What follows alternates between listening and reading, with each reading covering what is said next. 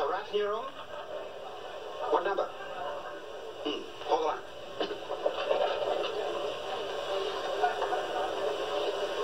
I'm sorry, there's nothing I can do. Absolutely nothing I can do. He's registered.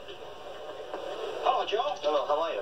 Woman just called, complained about a rat in her room. You never had a rat in your room, did you? There isn't room enough for a rat in my room. You had a small room? Are you kidding? I closed the door and the doorknob got in the bedroom with me. What's on your mind? I want to pay my bill and check it out.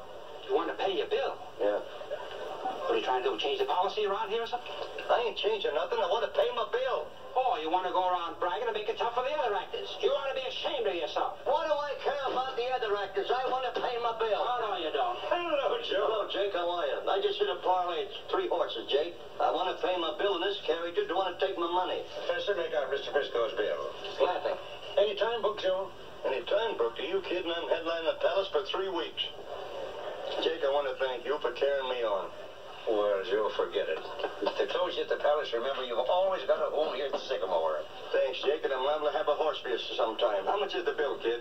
$392. $392. I didn't have a floor. I had a room. Wha- What's the, the, the, the, the $2 for? The doorknob. Oh, yeah, the doorknob. I didn't think about the doorknob, yeah.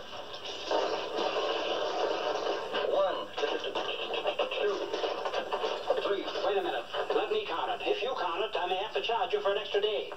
Can you count?